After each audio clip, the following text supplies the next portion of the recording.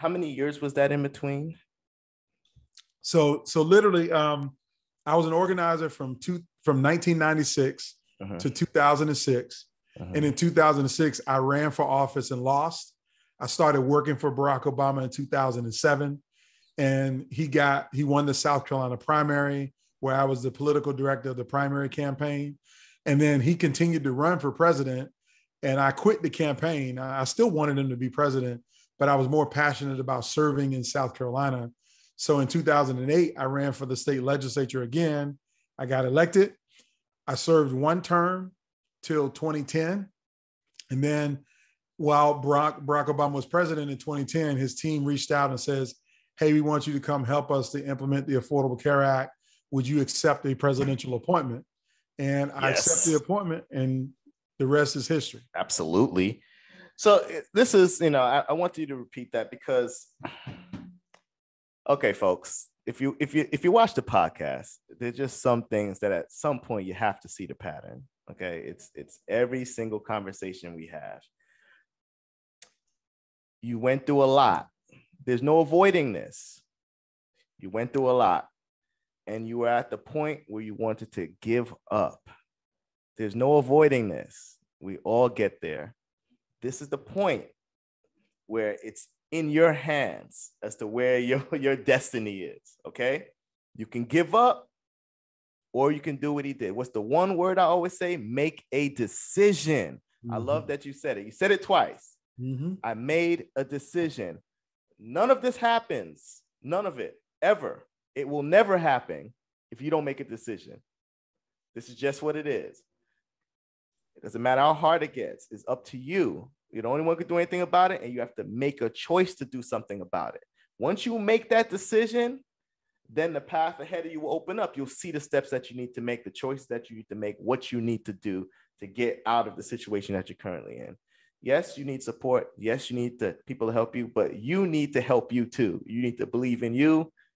This is, but I just had to, it's like, I keep hearing the same story coming out of everybody else's mouth. Like, everyone who's been successful is saying, I got to this low point. And, and people don't know that. And I want to emphasize it because a lot of times they'll see you, they'll look at you, oh, look how amazing you are. You're so lucky. Oh man, you're lucky that Obama picked you. You're lucky. And, and people say that. And I talk to people who have accomplished things, and people say that about them. You're lucky, whatever it is. And it's like, no, no, no, no, no. You just I'm just not showing you the Instagram pictures. I'm not just showing you videos of when I'm at my lowest when I'm mm. dealing with the hard stuff. You don't see it, but it's there. So yeah, I, I will tell you, man. A lot of people, um, you know, we live in a world where Instagram is the edited version of our lives. I mean, that's what everybody sees is the as the edited version of the life. Um, but it's the it's the unedited footage or the stuff that we leave on the cutting room floor is what makes us who we are. I mean, like I, I'm I'm real clear that you know adversity is not what you go through, it's what you grow through. And I've grown through a whole lot. And I got more failures than I can count. I mean, like I, I say this all the time. I, I don't lose. I, I win and I learn. I don't fail. You either win or you learn. And that's the context of, of where it is. And I can tell you that I have spent more time learning than I have winning. And again, I didn't lose. I spent more time learning than I have been winning. And the main point is when you go and take chances, you will learn a whole lot. And that's what actually prepares you for success is the failures and the challenges that you that you go through every day. And and I've had more than my fair share of them, and I have them every day. And so the, the point is we just got to make a decision to keep getting up and to keep taking action.